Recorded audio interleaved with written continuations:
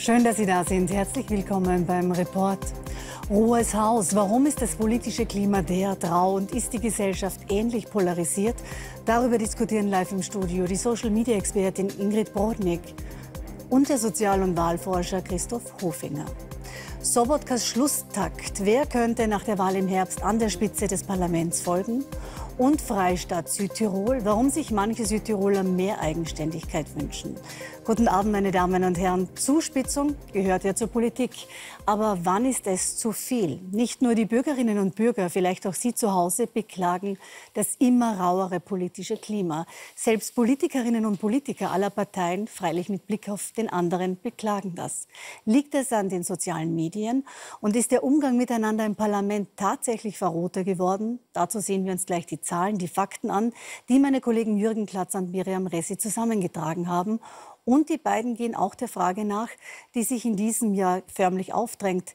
Ist die Stimmung in der Bevölkerung ähnlich polarisiert, die Gesellschaft gar gespalten? Ein Reality-Check. Lokalaugenschein in Deutsch-Wagram in Niederösterreich. Rund 9000 Einwohnerinnen und Einwohner zählt die Stadtgemeinde 45 Autominuten von Wien. Wie vielerorts in Österreich bildeten sich auch hier im Zuge der Präsidentschaftswahl 2016 zwei Lager. Wir treffen Werner Czermak und Reinhard Pazeka. Während sich der Ex-FPÖ-Politiker im Wahlkampf für Norbert Hofer stark machte, unterstützte der Unternehmer Alexander van der Bellen. Acht Jahre sind mittlerweile vergangen. Trotzdem war es schwierig, die zwei an einen Tisch zu bekommen. Wie blicken Sie heute auf die damalige Auseinandersetzung? Wir sind das erste Mal äh, auf leichten Konfrontationskurs gewesen. Wir auf seinen Neubau in Deutsch-Wagram am Bahnhof hat er ein riesiges Plakat äh, präsentiert, also außen, uh, Refugees Welcome. Und da hatten wir äh, die erste Auseinandersetzung. Also dieser Wahlkampf hat extrem polarisiert und dadurch äh, sind halt emotionale äh, Wirkungen aufgetreten, die eben ja, dann teilweise eben vielleicht sogar manchmal eskaliert sind. Ich fand es zum Teil schon auf, auf, beiden Seiten relativ hart und bei mir war es dann auch persönlich so, dass dann irgendwann meine Frau angegriffen worden ist und das hat bei mir sozusagen bei uns familienintern zu, zu größeren Problemen geführt und da haben wir, dann, haben wir uns dann auch ein bisschen zurückgezogen und so. Also das war, das war schon hart. Wie selten zuvor bei einer Wahl war die Bevölkerung so klar in zwei Lager gespalten. Links Van der Bellen, rechts Norbert Hofer. Markus Wagner forscht an der Universität Wien zum Thema Polarisierung. Warum wurde gerade jener Wahlkampf derart emotional geführt? Man sieht eigentlich immer, wenn es zwei klare Optionen gibt, wenn es zwei Lager gibt, wenn sich diese Lager ausbilden, dass es dann viel stärker in die Gesellschaft auch reinspielt, diese Pol Pol Polarisierung, Politisierung. Ähm, also daher war dieser Präsidentschaftswahlkampf ein Ideal dafür geeignet, sozusagen, dass die politische Polarisierung dann wirklich auch in die Gesellschaft übertragen wird. Bekannt für derbe Sprüche über die politische Konkurrenz sind Aschermittwochsreden. Durchaus grob kann es aber auch in den Nationalratsdebatten werden. Ich erteile den Abgeordneten Lopatzka für den verlängerten Abend des Kriegsverbrechers Kadyrov einen Ordnungsruf. Die ÖVP ist ein machtversessener Haufen. Die Grünen wollen nichts anderes als die Schaffung des hirnkastrierten Untertans der selbsternannten linken Eliten den Abgeordneten Kickel für den schäbigen Lügner. Und da sage ich nur Alfred Gusenbauer. Eine fette, dicke, rote Spinne. So eine dicke, fette Spinne. Dem Abgeordneten äh, Brandstätter für den Vergleich mit Hitler. Es ist ein Sauhaufen. Eine Sauerei. Es kotzt mich an. Ist die Politik verbal tatsächlich verroter geworden? 1996 wurden noch 14 Ordnungsrufe erteilt. Im Jahr 2050. Seit gut drei Jahren befindet sich der Wert auf hohem Niveau.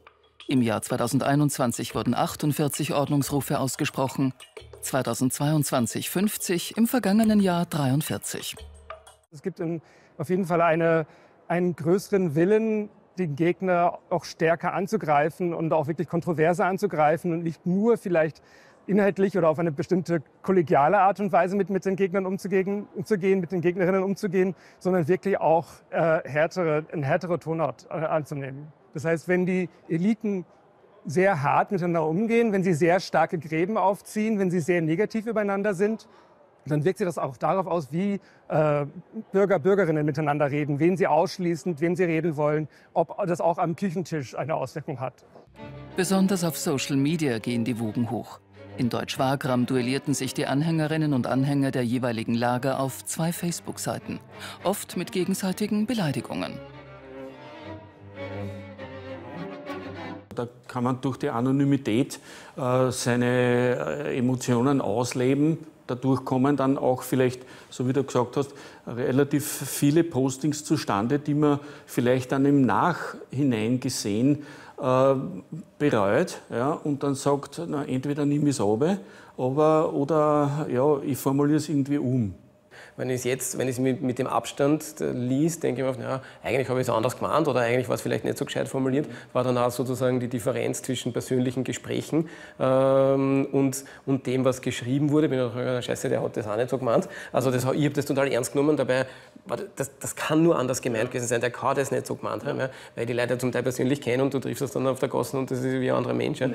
Äh, und, und, ähm, und ich glaube auch, dass wir ich sage immer, das sind die Facebook-Hooligans. Ja, das stimmt. Ja, das ist so und ich glaube, dass wir das, also wir sind ja auch sozusagen keine Digital Natives und also ich glaube, dass wir alle oder viele da schon eine Lernkurve auch hinter uns haben. Ja, die, die Kommunikation, äh, wie gesagt, Auge in Auge, haben diese Social Medien teilweise zerstört. Ja. Das persönliche Gespräch wird nicht mehr so gesucht wie eben vor Erfindung der Social Media, ja, auf jeden Fall.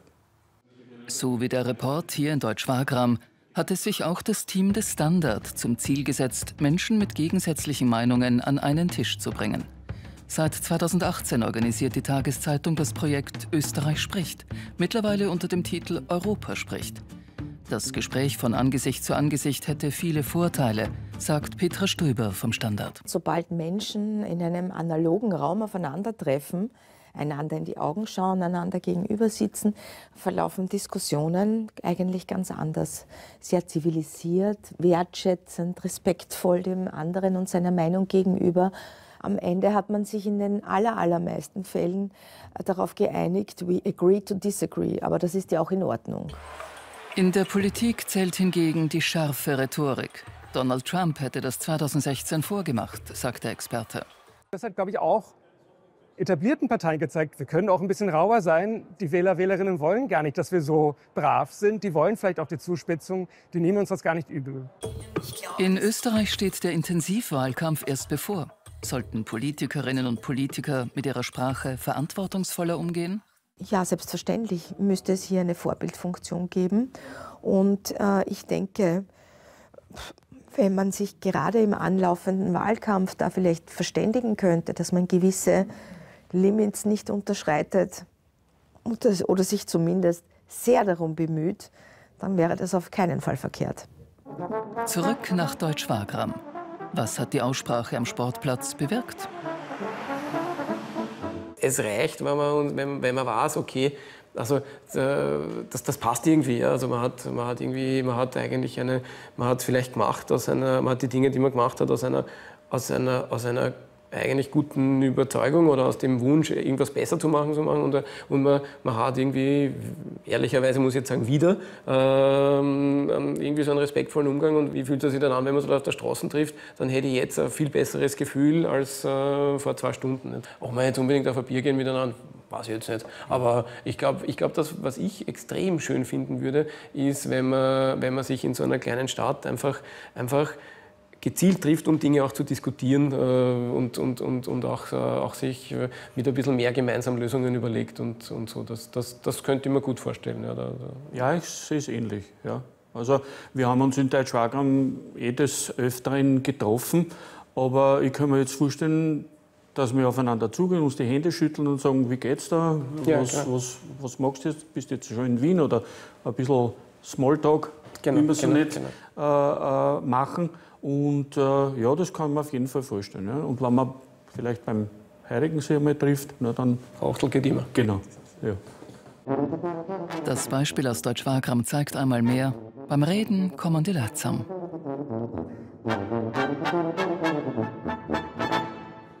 Genau, beim Reden kommen die Leute zusammen und genau das wollen wir jetzt tun und wissen, was braucht es trotz Wahlkampf und aller inhaltlichen Differenzen, damit es spätestens nach dem Wahltag eine Gesprächsbasis gibt. Und ist die Gesellschaft ähnlich polarisiert, wie es derzeit in politischen Debatten zu hören ist? Dazu gibt es viele Studien und Umfragen, die wir jetzt live einordnen hier im Studio mit der Social-Media-Expertin Ingrid Bodnik. Danke fürs Kommen. Guten Tag. Und dem Sozial- und Wahlforscher Christoph Hofinger, der jährlich mit seinem Team den Demokratiemonitor verfasst. Ebenso danke fürs Kommen. Danke, schönen Abend.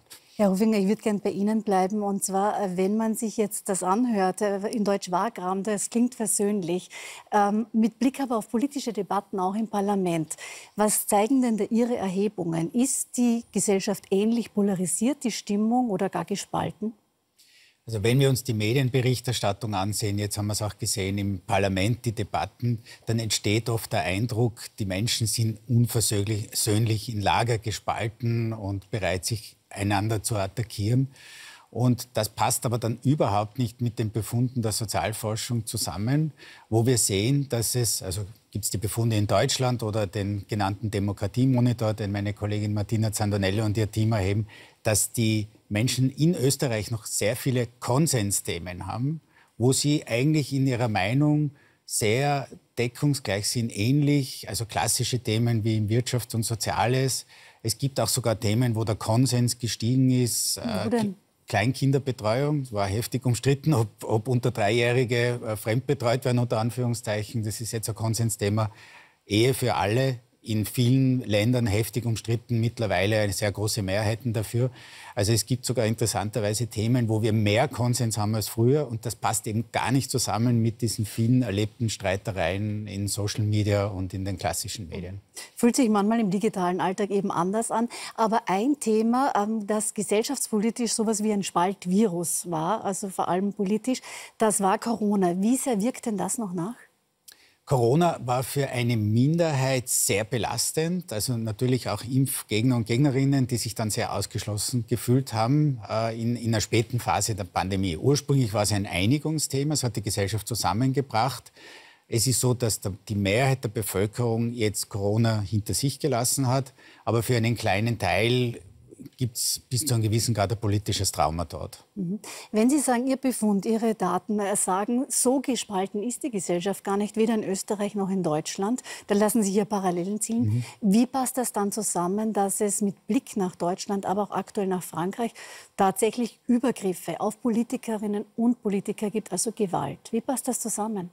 Na, was wir schon festgestellt haben, auch in den gleichen Studien, ist, dass die Zufriedenheit mit der, wie die Demokratie funktioniert, nicht sehr hoch ist. Also die ist stark zurückgegangen.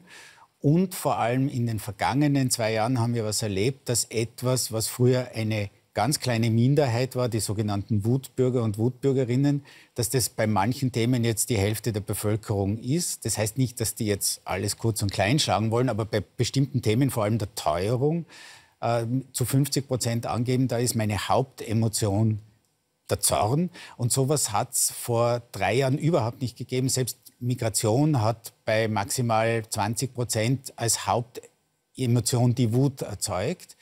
Und das ist schon etwas, mit dem wir uns beschäftigen müssen, dass mehr und mehr in der Bevölkerung äh, verärgert sind über geringe Wertschätzung oder auch äh, mangelnde Zukunftsaussichten. Aufgrund der Politik, wie sie derzeit abläuft. Ja, aufgrund globaler Herausforderungen, Krieg, Teuerung, Energiekrise, die Pandemie etc. und auch eine gewisse Verzweiflung manchmal oder auch Pessimismus, dass wir Lösungen dafür finden werden. Bleiben wir noch, aber bevor wir zu den Lösungen kommen, bei Zorn und bei Wut. Äh, Frau Bodnik, Sie haben gerade ein neues Buch geschrieben, nämlich wieder die Verrohung und unbestritten Zorn und Wut. Ganz viel davon gibt es in den sozialen Medien. Im digitalen Alltag gehört Hassrede, aber auch Shitstorms dazu. Hat demzufolge Social Media das politische Gespräch zerstört? Es macht das Gespräch oft schwieriger. Das hat zwei Gründe.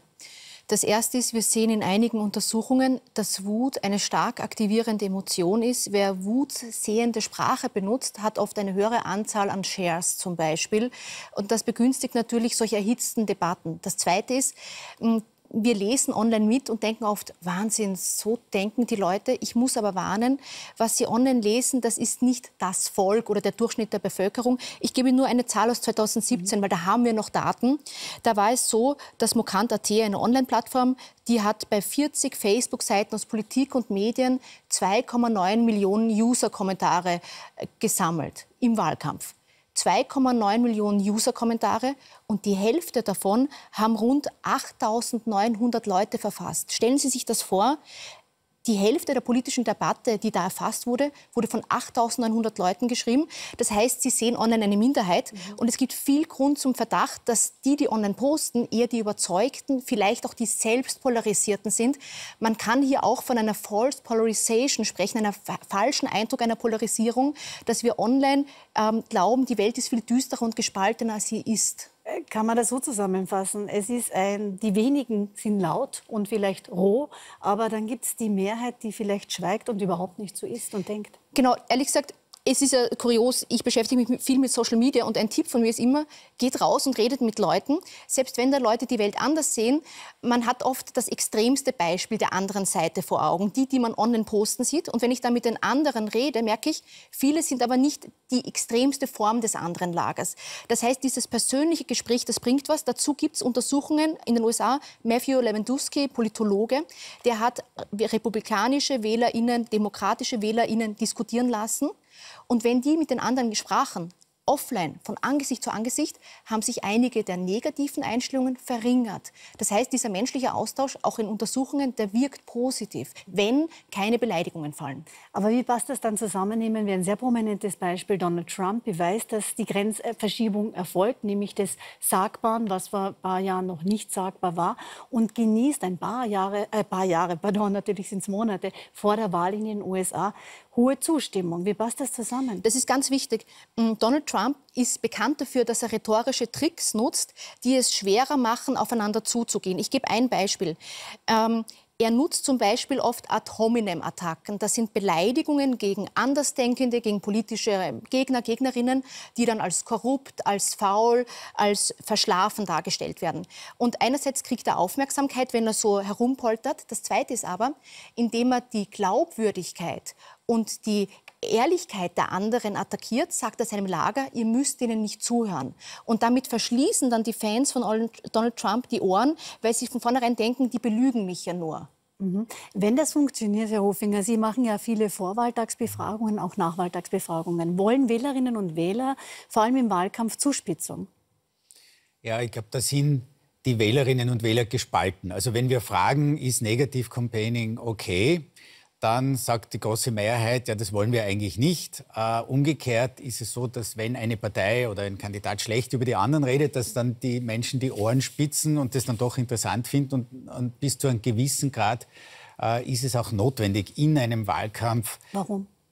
Die Kontraste sichtbar zu machen. Also wenn, wenn es nur ein Einheitsangebot gäbe und eine Partei sagen würde, sind eh alle gut, dann, dann hätte man wahrscheinlich eine Wahlbeteiligung, die viel geringer ist. Also die Unterschiede sichtbar zu machen, ist wichtig. Es ist auch wichtig, Emotionen zu liefern im Wahlkampf. Wir können ohne Emotionen keine Wahlentscheidung auch treffen. Die Frage ist auch das Ausmaß und wirkt es über die Wahl hinaus. Es gibt diesen berühmten Saga von der fokussierten Unintelligenz während Wahlkampfzeiten. Mhm. Michael Häupl. Genau, und das ist also, hat dann Selbstläufer geworden. Und das, viele sagen, aha, die Unintelligenz, also die Emotion vielleicht, aber das, das, das Schöne an dem ist, dass es fokussiert ist, am Wahlkampf bleibt. Wo ich schon Tendenzen sehe, ist, dass es jetzt über einen Wahltermin hinaus dann eine permanente Emotionalisierung im politischen System gibt. Und da brauchen wir auch Gegenmechanismen, sage ein Beispiel, eine Verwaltung, die zum Beispiel nicht durchpolitisiert ist und wo äh, in den Sektionen oder überall in der Verwaltung dann auch noch äh, parteipolitisch weiter agitiert wird, als wäre noch ein Wahlkampf. Das mhm. heißt, wir brauchen das, was vielleicht ein bisschen verloren gegangen ist, sind die Beruhigungsphasen und Deeskalationsphasen wenn einmal die Wahl vorbei ist. Mhm. Da wollen wir durchaus selbstkritisch sein, Frau Brodnik, ähm, auch im Journalismus. Es geht natürlich manchmal um Zuspitzung und es geht um die nächste Schlagzeile. Wie sehr befeuern da sich gegenseitig soziale Medien, etablierte Medien und die Politik? Es gibt da auch das Problem, dass natürlich Medien ökonomisch unter enormen Druck stehen. Dass es oft sehr darum geht, möglichst viel Reichweite zu erzeugen. Und wenn der Mechanismus ist, eine Aussage, die Wut auslöst, wird viel geklickt, ist die Gefahr einer Verlockung im Journalismus, dass der, der poltert, auch heftig austeilt, umso mehr Reichweite bekommt. Und ich gebe nur ein Beispiel. Schon 2015 sah die Kommunikationswissenschaftlerin Sina Blasnik mit Kollegen und Kolleginnen, dass sich populistische Rhetorik einerseits auf Social Media rentiert, weil die kriegt dort positives Feedback, aber sie sahen noch was Zweites. Die Sachen, die auf Twitter damals zum Beispiel gepostet wurden, landeten dann häufig im etablierten Journalismus. Also es wäre viel zu einfach zu sagen, die so Social-Media-Kanäle sind schuld. Medien sehen oft, das geht gut auf Social Media und geben dann eins zu eins weiter eine Plattform. Ich glaube, man muss gewisse Tabubrüche ähm, ansprechen, aber eben auch einordnen. Also nicht nur für den schnellen Klick, sondern auch, dass Leute verstehen, warum das zum Beispiel problematisch ist oder was da mitschwingt. Mhm. Jetzt geht es um Abgrenzung. Sie haben uns das schon erzählt, nämlich um die eigene Position als Partei zu schärfen und sich zu unterscheiden von anderen Parteien mit den Positionen. Ähm, wenn Sie aber auf Wählerinnen und Wähler und ihre Daten schauen, ist das vielleicht in der Realität nicht vielschichtiger? Gibt es ja Menschen, manchmal, also zum Beispiel ich kenne jemanden, der hält die Heimat hoch, ist für Naturschutz und Klimaschutz. Gleichzeitig aber auch, wenn es um Heimat geht, für Werte. Eine strikte Zuwanderungs-, eine strenge Integrationspolitik. Wenn man sich jetzt das im Parteienspektrum anschaut, wäre das Grün und FPÖ, das geht nicht zusammen. Ist das unauflösbar politisch? Ja, die, es ist so, wenn wir in reine Lehre auflösen wollen und dann immer die Extreme haben, der Bundespräsidentenwahlkampf war ja jetzt typischerweise auch in dem Beitrag genannt, wobei damals auch spannend war, dass beide Kandidaten, Kandidaten schon versucht haben, die politische Mitte zu erreichen. Mhm. Und die politische Mitte ist keine eigene Ideologie, sondern da gibt es sehr viele Menschen, die, wie die Beispiele, die Sie genannt haben, äh, innerlich zwei Herzen in ihrer Brust haben, ein bisschen im Wiggelwagel sind, die sagen uns in einer Umfrage dann oft widersprüchliche Dinge. Die sagen, wir brauchen ein empathisches Herangehen für, und eine Aufnahme für Flüchtlinge, sagen gleichzeitig im gleichen Interview auch, die Grenzen sollen dicht sein. Das sind emotionale Realitäten. Und diese nicht glasklar sich entschieden habenden Menschen in der Mitte, die sind eigentlich eine schöne Ressource für ein politisches System, weil die ja eigentlich beide Seiten verstehen. Die können äh, auch in einer Diskussion, wo vielleicht zwei Hitzköpfe sind, dann auch vermitteln. Die sind eigentlich etwas, was in Amerika zum Beispiel jetzt fast verloren gegangen sind. Dort hat sich das System nicht erst seit Trump, seit rund 25 Jahren so aussortiert, dass die auch übereinander gar nichts mehr Gutes sagen, die Republikaner und die Demokraten. Und das ist der Punkt, den wir vermeiden müssen. So werden wir die USA und diese Menschen, die ein bisschen eine Zerrissenheit haben, eine produktive Zerrissenheit eigentlich behalten und im System eigentlich wertschätzen. also in den, Verzeihung. In den USA wäre das dann, wenn aus Konkurrenten quasi Feinde Unversöhnliche werden. Und wo die Feinde dämonisiert werden, das passiert ganz stark, kriminalisiert werden. Also das hat Trump begonnen, aber das geht dann teilweise in beide Richtungen auch. Natürlich, aber jetzt hat er auch Material geliefert. Und der, der, der Schritt gemacht wird, zu sagen, die haben gar keine Legitimität mehr, die von der anderen Seite. Und da wird es für Demokratie dann schwierig. Mhm. Jetzt würde ich gerne als Positivbeispiel noch einmal zu den beiden Herren in Deutsch-Wagram zurückkommen. Es gibt ja nicht nur für Parteien, sondern auch für Wählerinnen und Wähler jetzt den Intensivwahlkampf und dann den Tag nach der Wahl. Wie kann da trotz aller Unterschiedlichkeiten eine Gesprächsbasis intakt bleiben? Ich finde das sehr schön dass manchmal man merkt, dass Leute, auch wenn ein bisschen Zeit verstreicht, dass sie dann noch wieder leicht ins Gespräch kommen. Und ich habe mir jetzt auch für mein Buch sehr viele positive Beispiele angeschaut und ich habe so gelernt, es hilft, die Vielschichtigkeit von Menschen, auch die Empathie zu anderen Menschen zu haben. Eine Studie aus Stanford, die hat zum Beispiel gesehen, wenn Menschen diskutieren sollen und ihnen wird der Nutzen, der Wert von Empathie vermittelt, also auch der Empathie mit Andersdenkenden, dann sind ihre Botschaften überzeugender, weil die ändern nicht ihre Positionen, aber sie betonen im Reden mehr die Gemeinsamkeiten und sie machen eine Perspektivenübernahme. Das heißt, sie sagen, ich verstehe aus deiner Position kommend das und das, meine Situation ist die und die. Und das war zu 98 Prozent eher empathisch und auch zu zwei Drittel eher wurde es als ähm, überzeugend eingestuft. Worauf ich hinaus will ist, nach dem Wahltag miteinander reden, aber durchaus sich auch in den Kopf der anderen reinversetzen, wenn man tatsächlich auch ein bisschen mehr bewirkt. Man muss seine Position nicht ändern, aber man kann wieder ein paar Brücken aufrichten. Das, Herr Hofinger, abschließend ist auch die große Kunst für alle Parteien nach dem Wahltag. Da geht es um Mehrheiten, wer mit wem äh, regiert und Koalitionen findet. Äh, wie könnte da eine Gesprächsbasis trotz aller Unterschiedlichkeiten im Wahlkampf intakt bleiben? Ja, das Spannende ist, dass die Parteien ja Gesprächsbasis haben und dann in der Öffentlichkeit oft viel polarisierter agieren, um eben auch äh, zu mobilisieren und zu überzeugen, während sie dann, wenn es darum geht, wirklich äh, zur Einigung zu kommen, im Ministerrat, auch im Parlament, ja durchaus eine intakte Gesprächskultur haben. Das, was wir nicht machen können, ist unsere Demokratie unter einen Glassturz stellen und, und nostalgisch sein und zu sagen, früher war es besser, war es nicht in jedem Aspekt. Und in Zeiten, wo Menschen jetzt zur Polarisierung vielleicht verführt werden könnten, da gibt es ja Polarisierungsunternehmer, die das schon auch zu ihrem Geschäft machen, politischen Geschäft oder wirtschaftlichen Geschäft, neue Instrumente integrieren ins politische System, wie zum Beispiel Bürgerinnenräte, wo genau das passiert, was Ingrid Bodnik jetzt auch beschrieben hat, dass Menschen aufeinander zugehen und Lösungen finden. Und ich glaube, wenn die Parteien da für manche Bereiche ein bisschen loslassen, Entscheidungen auslagern und dann wieder an, an das Parteiensystem zurückspeisen können, dann können wir auch eine, diese Polarisierungsspiralen durchbrechen. Kurzum, direkte Demokratie, mehr davon. Also neue Instrumente wie Bürgerräte und, und sicher auch die, direkte Demokratieabstimmungen. Da braucht man natürlich eine Kultur, die man dazu entwickeln muss. Aber weiterentwickeln ist das Zauberwort für die Demokratie. Dann sage ich danke für die Einschätzung, Frau Bodnik und Herr Hofinger. Gerne. Ja, und mit Blick auf den Herbst stellt sich natürlich noch die eine Frage. Wer wird stimmenstärkste Partei bei der Nationalratswahl? Und in Folge, wer wird dann miteinander regieren? Letzteres also, wie die nächste Regierung aussieht, das wissen wir vielleicht erst Wochen, gar Monate nach der Wahl. Eines ist jedoch jetzt schon fix. Der künftige Nationalratspräsident wird nach sieben Jahren ganz sicher nicht mehr Wolfgang Sobotka heißen. Warum sich der streitbare ÖVP-Politiker zurückzieht und wer ihm folgen könnte, das haben sich Laura Franz und Jürgen Klatzer angesehen. Vergangenen Donnerstag im Parlament. Wolfgang Sobotka bereitet sich auf die Nationalratssitzung vor. Der Tag im Hohen Haus beginnt mit einem untypischen Termin. Vor der Sommerpause hat sich der Parlamentschor eingefunden. Abgeordnete singen. Von Gospel bis zum Volkslied. Am Ende stimmt auch der passionierte Musiker Sobotka mit ein.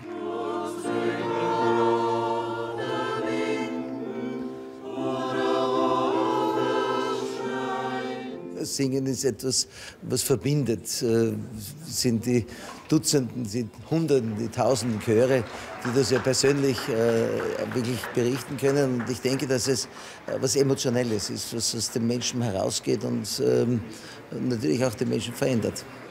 Veränderungen stehen auch für Wolfgang Sobotka an.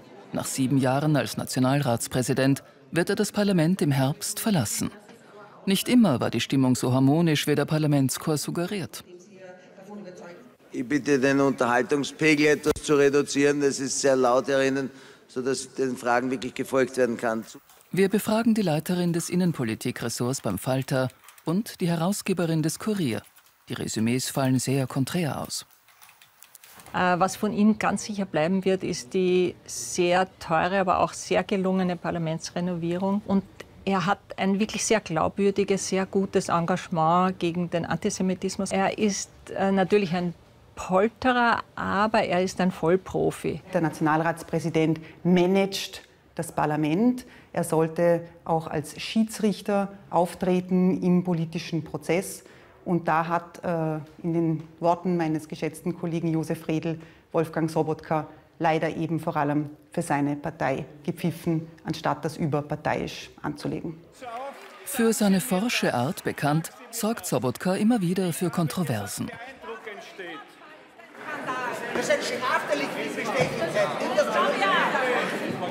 Die Opposition warf ihm etwa eine parteiische Vorsitzführung in den U-Ausschüssen vor.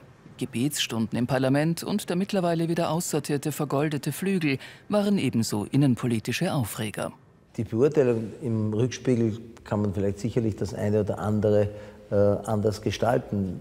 Dort, wo ich einen Fehler gemacht habe, habe ich mich auch entschuldigt, wenn ich zu emotional war. Ähm, dort, was würden Sie denn anders machen?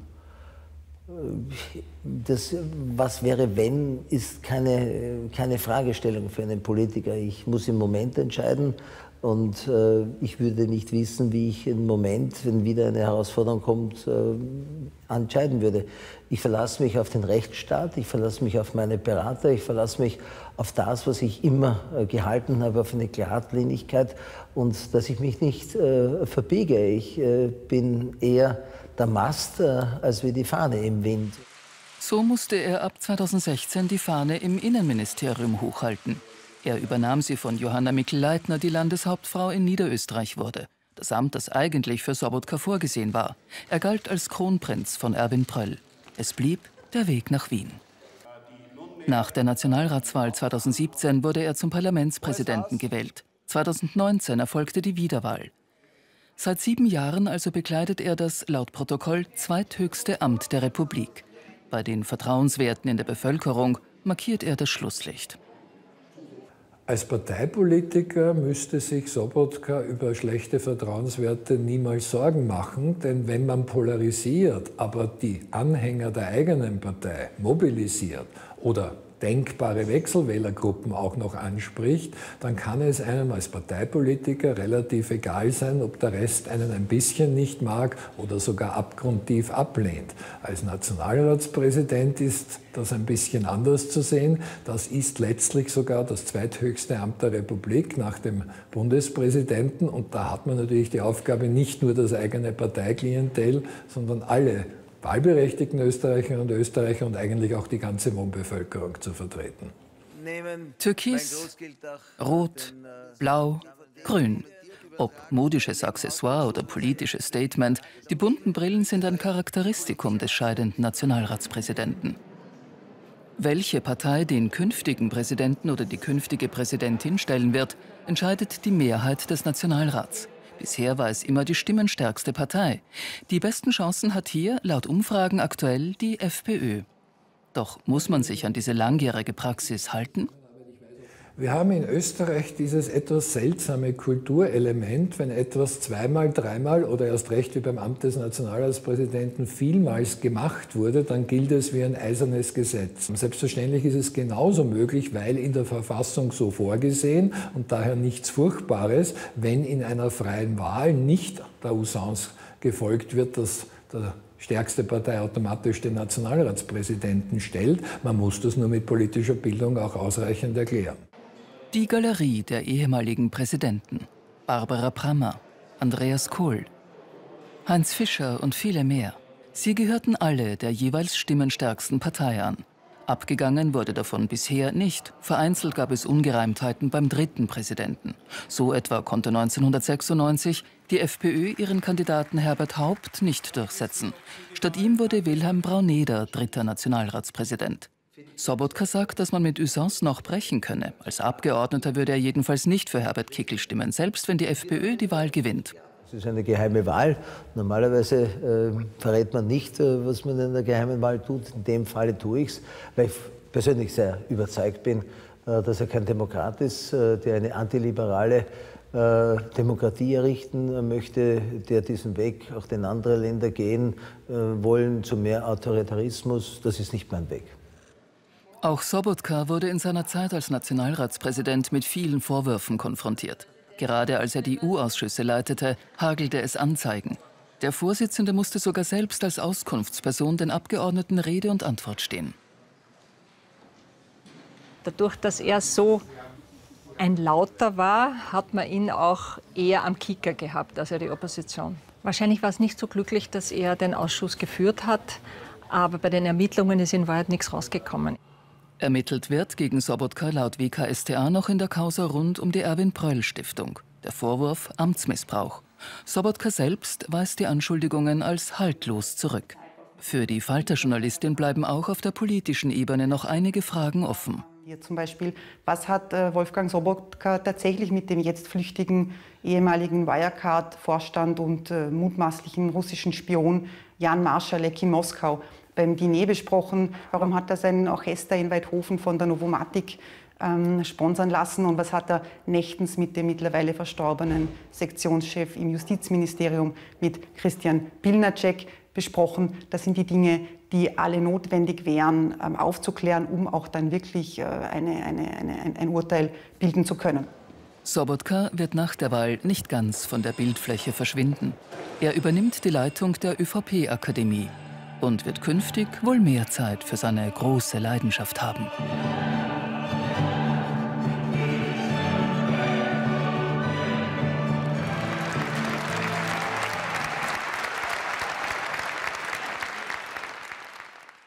Und wir machen jetzt einen großen Sprung Richtung Süden nach Südtirol, wo der Wunsch nach mehr Eigenständigkeit wieder für Diskussionen, aber auch für Verhandlungen zwischen Bozen und Rom sorgt. Ein Buch von mehreren Autoren sieht Südtirols Autonomie schwinden und stellt diese daher in Frage. Mit dem Titel Kann Südtirol Staat, sprich ein Freistaat sein? Miriam Ressi und Sabina Zwitter berichten.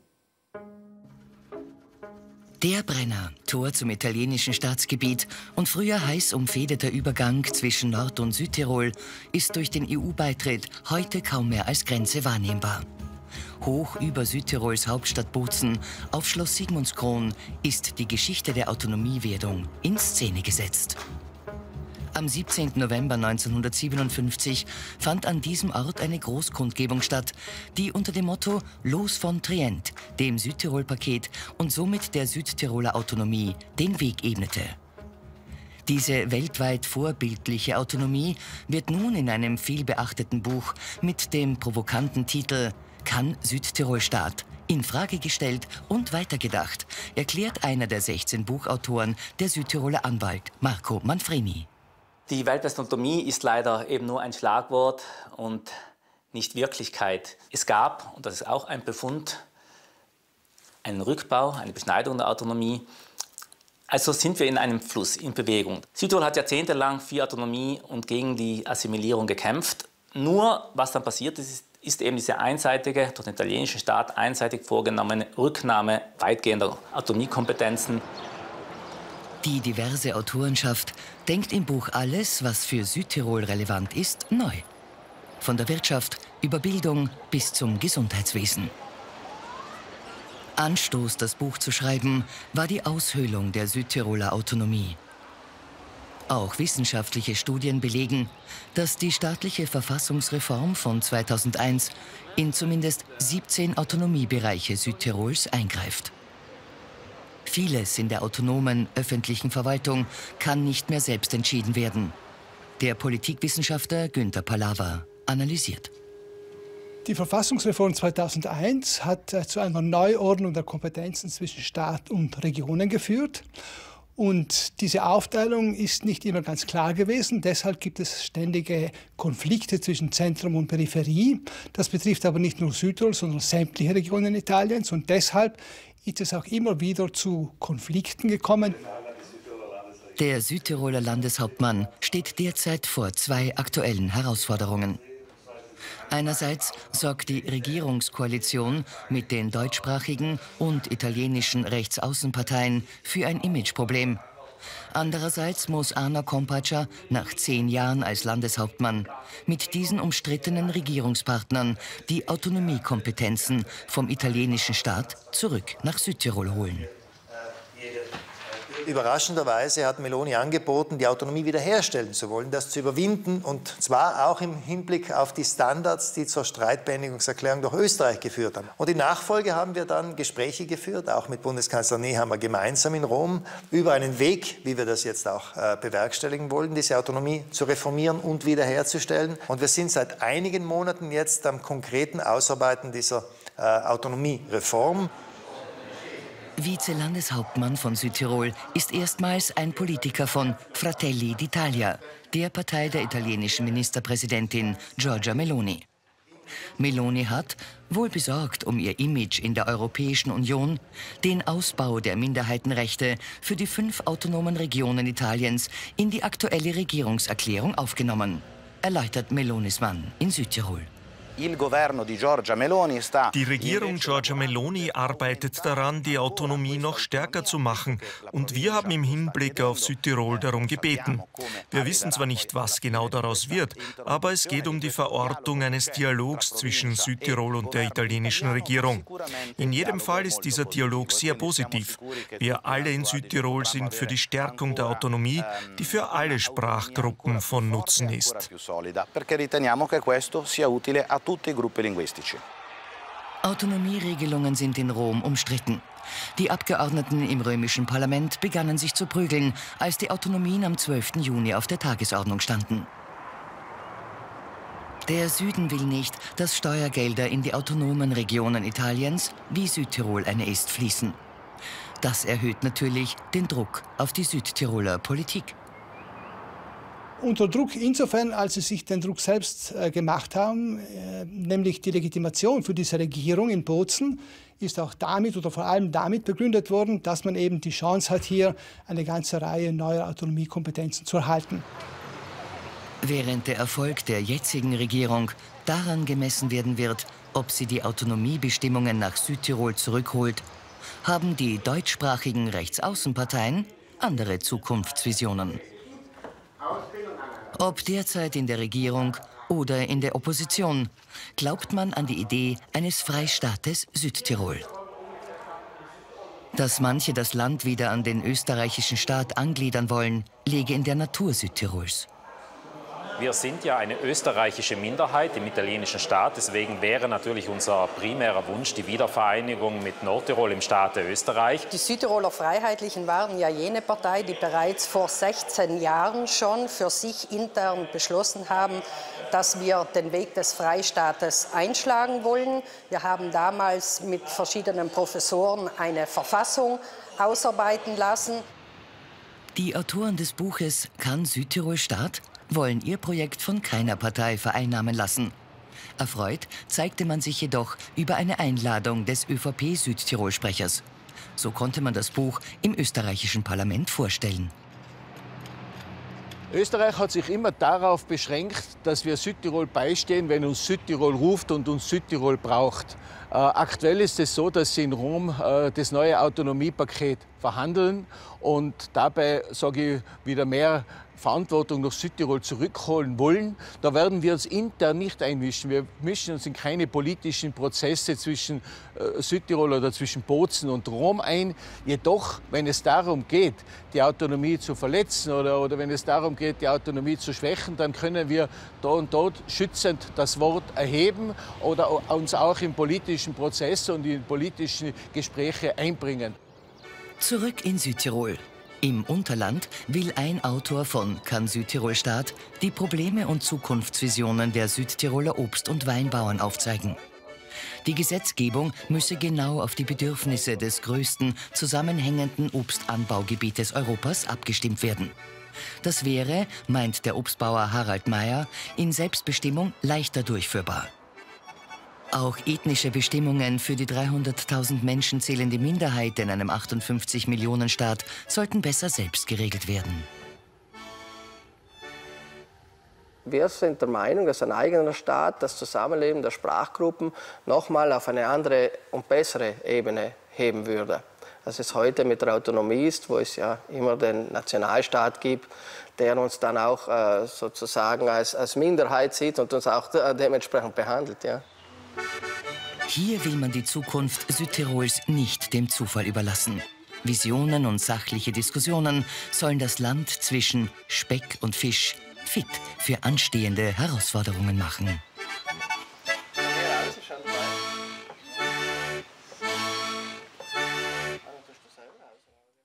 Und damit biegen wir auch schon in die heutige Report-Zielgerade. Von uns allen hier danke fürs Zusehen. Bis nächsten Dienstag. Kommen Sie gut durch die Woche.